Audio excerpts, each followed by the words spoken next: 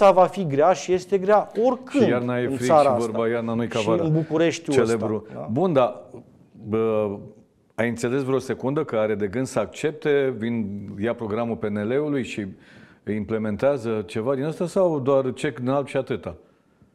Nu implementează, eu cred. E, repet, e o opinie. Nu știu în detaliu. Nu acum. implementează. Demers de sinceritate. Nu știu în detaliu toate lucrurile care se întâmplă în bucătăria Consiliului General sau la primăria Capitalei. Dar uh, l-ai cunoscut, l-am cunoscut, un om foarte inteligent, cu un IQ bun. IQ chiar la nivel Matematician de și așa mai matematician departe, foarte da. bun, da? O mare dezamăgire. El, a, el a, f- s-a născut, uh, nu știu cum era vorba aia, s-a născut speranță și a murit talent. Sau era talent și a murit speranță. S-a pregătit 8 ani de zile pentru, pentru mandatul ăsta de primar general. A venit, n-a făcut nimica. Mhm. Bun, uh, înțeleg punctul tău de vedere și e foarte tranșant.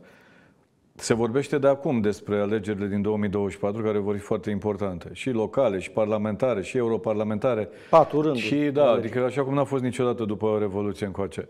Uh, PNL are un candidat în momentul ăsta pentru primăria capitalei? Sau se gândește la un candidat? Au terminat colegii, conducerea centrală a partidului, sondaje, stăm destul de bine pe București, undeva la 20 și ceva de procente, din ce știu eu. Ă, Ăsta este votul politic. Tot ca opinie personală, din ceea ce știu din- și din experiența de presă, oameni care ar putea să, să, să ducă un tip de candidatură pentru București ar fi Cipri Ciucu de la sectorul 6, care este și președintele PNL București, și Rareș Bogdan, pe vicepreședintele partidului. Ah. De fapt, Rareș a fost în cărți.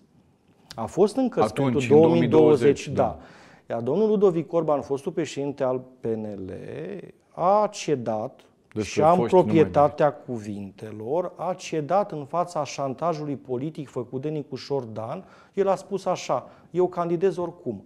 Dacă PNL și USR nu mă susțin, eu intru în această cursă independent, cum am mai făcut-o în 2016, și obțin un 10, 12, 15% suficient cât acel candidat al, Al PNL vostru, dar cum s-a întâmplat să în piardă. 2016, că vorbeam înainte de Și o emisiune. să ies public și o să spun că PNL, mai mult PNL, el avea o treabă cu PNL, Nu cu USR-ul, da. da. USR-ul mergea cu Vlad Voiculescu atunci uh, și, și candidez, vă stric jucăria, Gabriela Firea va câștiga primăria și o să ies la televizor să spun că voi, da, ați făcut-o pe Firea primar încă o dată, că nu m-ați acceptat pe mine candidat.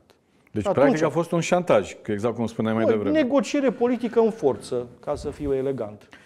Da. Uh, uite, Așa s-a tranșat, 2020. 2020 vom vedea ce va fi în 2024. Deci Rareș Bogdan rămâne în cărți pentru 2024, zici? Este opinia mea.